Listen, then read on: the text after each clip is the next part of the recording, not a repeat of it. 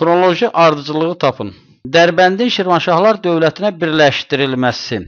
Bu Şirvanşahlar dövlətinin ən önəmli əhəmiyyətə malik tədbirlərindən biri məhz bu idi. Bu 988-ci ildə baş vermişdi.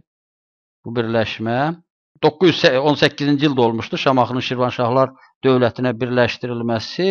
Şirvanşahlar dövlətinin yaranması Heysam İbn Xalid tərəfindən 861-ci ildə elan edilmişdir. Ona görə də testimizin cavabı 3, 2, 1 D variantı alınır. Yerdə qalan variantlar özünü doğrultmur.